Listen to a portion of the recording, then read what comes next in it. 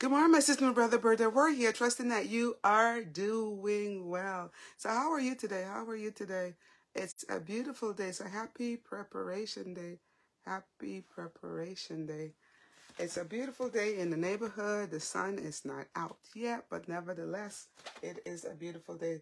So before we get into our topic, let us go ahead and bow for prayer. Father God, I thank you, Father God, for this beautiful day, Father God. Thank you, thank you, thank you, Father God.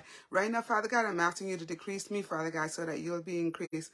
Allow your Holy Spirit, Father God, to take full control. I thank you, Father God, for hearing, for answering through the Holy Spirit. In Jesus' name, amen and amen. Okay, my sister, brother, scripture reading is coming from Leviticus 25, verses 17.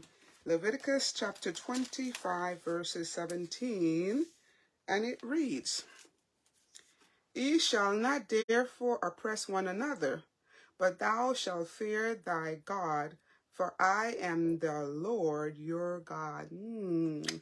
May the Lord add the blessing to the reading, hearing, and the doing of his words. So before we get into our topic, let us go ahead and bow for prayer again. It says, God's grace needed to polish us. God's grace needed to polish us. Mm polish. Mm. So, you know, we have work to do, work to do. God's grace needed to polish us. Father God, as we go into this topic, Father God, I ask you open our hearts and our mind to receive this information. I thank you, Father God, for hearing, for answering to the Holy Spirit. In Jesus' name, amen and amen. Polish. I don't know about you, but sometimes when I'm polishing stuff, you know, you got to put some hard work. You got to put some pressure in there, right? So it says here, that was my daughter. So let me go back. It says you are in danger of making grave mistakes in your business transaction. God wants you to be on your guard lest you indulge in a spirit of crowding one another. Be careful not to cultivate the sharper tact, for this will not stand the test of the day of God. Shrewdness and close calculation are needed for you have all classes to deal with. But, but, but, but, let not these straits become a ruling power. Under proper control, they are essential elements in the character. And if you keep the fear of God before you and his love in the heart, you will be safe. Let me repeat that. Under proper control, there are essential elements in the character. And if you keep the fear of God before you and his love in the heart, you will be safe. It is far better to yield some advantage that might be gained than to cultivate a, a meaning a greedy or a materialistic spirit and thus make it a law of nature. Petty sharpness is unworthy of a Christian character. Petty sharpness is unworthy of a Christian. We have been separated from the world by the great clever of truth. Our wrong traits of character are not always visible to ourselves. Hey, Earl, how are you, my brother? Trusting that you are doing well. It was great seeing you this past weekend. It was great seeing you. Your beautiful smile. Thank you so much. It says here, our wrong traits of character are always visible to ourselves, although they may be very apparent to others.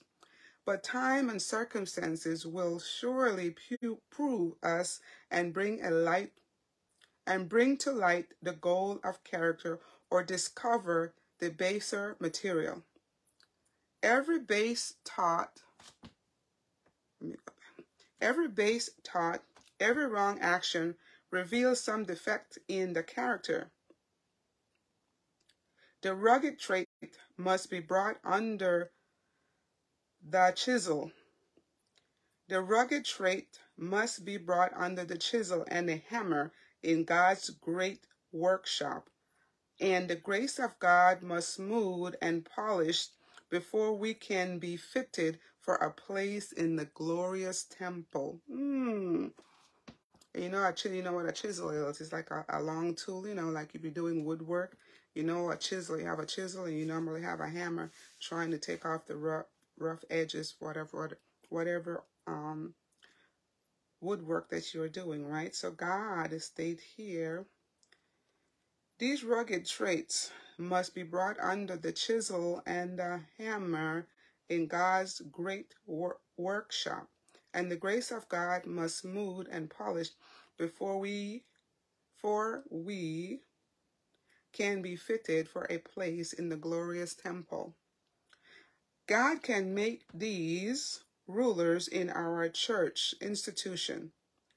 God can make these rulers in our church institution more precious than fine gold, even the golden edge of Ophir if they will yield themselves to his transforming hand. They should be determined to make the noblest use of every faculty and every opportunity. The Word of God should be their studies and their guide in deciding what is the highest and the best in all cases.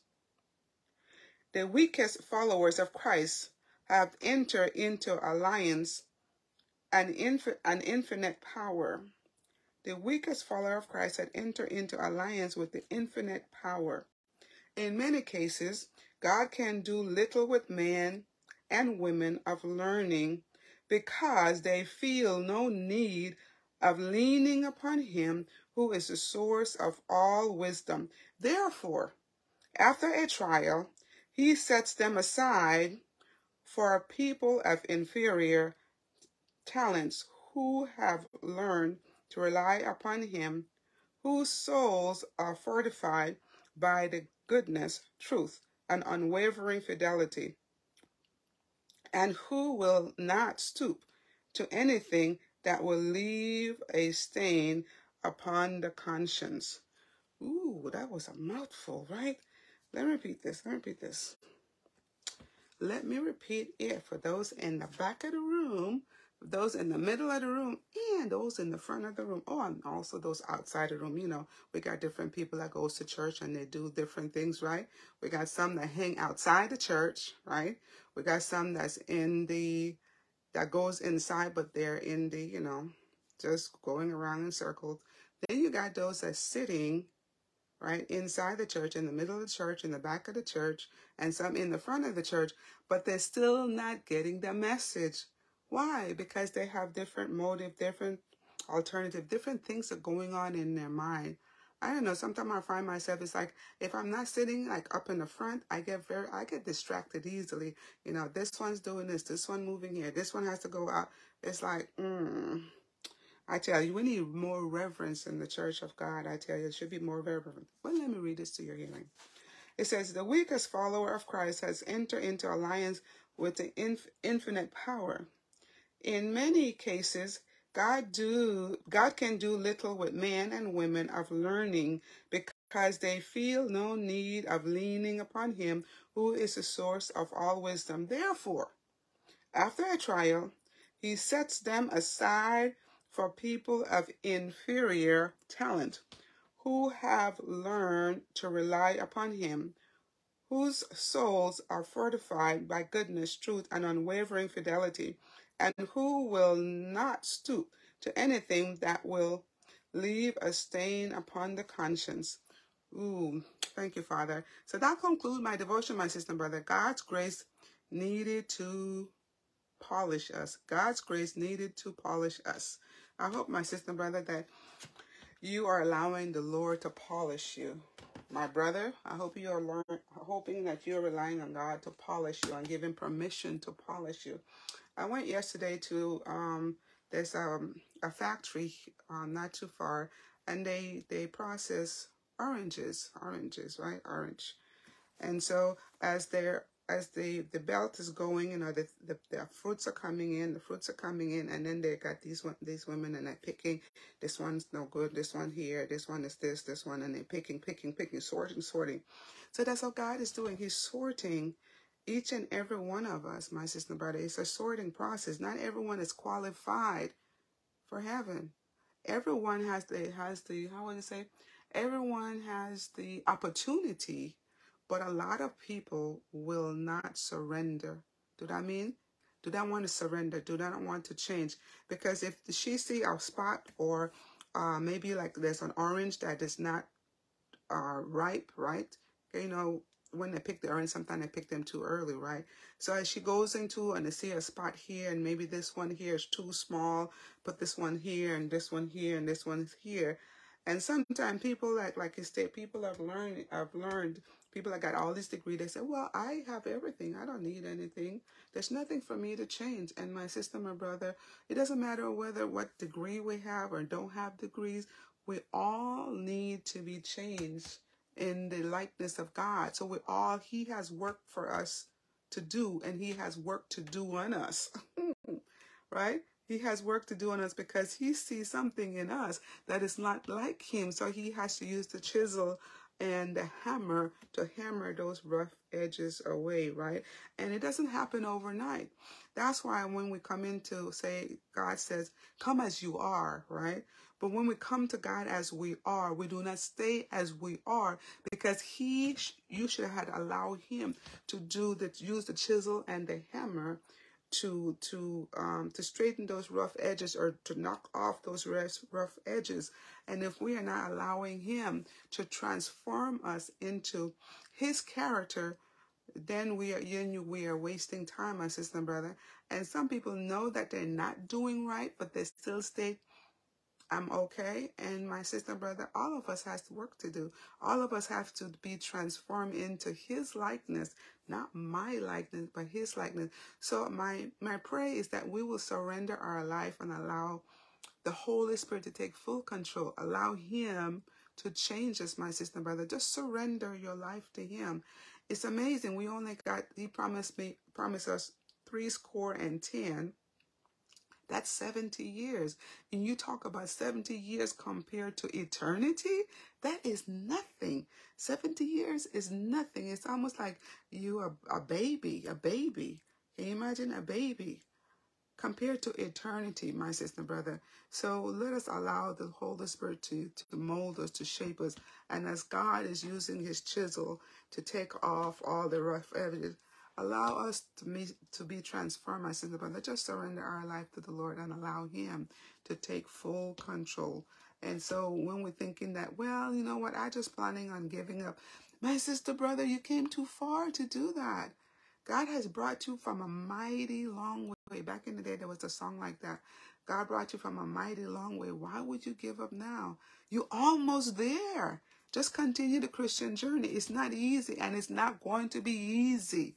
Okay, it's not an easy thing. It's not like I'm walking in the park and I'm the smelling on the rose. And if you if you picking up a rose, you got to be very mindful, right? Because there might be a bug in there while you're smelling this rose. Might be a bug in there. And also, when you're picking up the rose, there might be torn on the rose bush, right? So you still have to be mindful when you're picking up the rose, right? So just the same thing with life. That's how life is. There might be you have beautiful rose bush and you look at it, it's like, hmm but, you know, my sister, and brother, but don't forget, you can smell the rose, but make sure that you are allowing the Holy Spirit to transform you, okay? That is my prayer for you. So let us bow for prayer. Father God, I thank you, Father God. Thank you for this message. Thank you for this message. Thank you, Father God, that you are using the chisel in our lives, Father God. So we give you permission, Father God, to take off the rough edges that you know that it's not of you, Father God. We give you permission to do that, Father God. Father God, if we have said or done anything, Father God, that was not pleasing or acceptable in your sight, Father God, we ask you that you will wash us and make us whiter than snow, Father God. And Father God, as you continue to give us the trials and the tribulation in our life, Father God, we thank you for our trials. We thank you for our tribulation because we know, Father God, that you have measured everything we're going through and you know that we can pass the test. Why? Because we are relying on you to take us through. So, Father God, we thank you, Father God, for hearing. We thank you for answering through the Holy Spirit. In Jesus' name, amen and amen. Okay, my sister and brother, this is Berdel Warrior.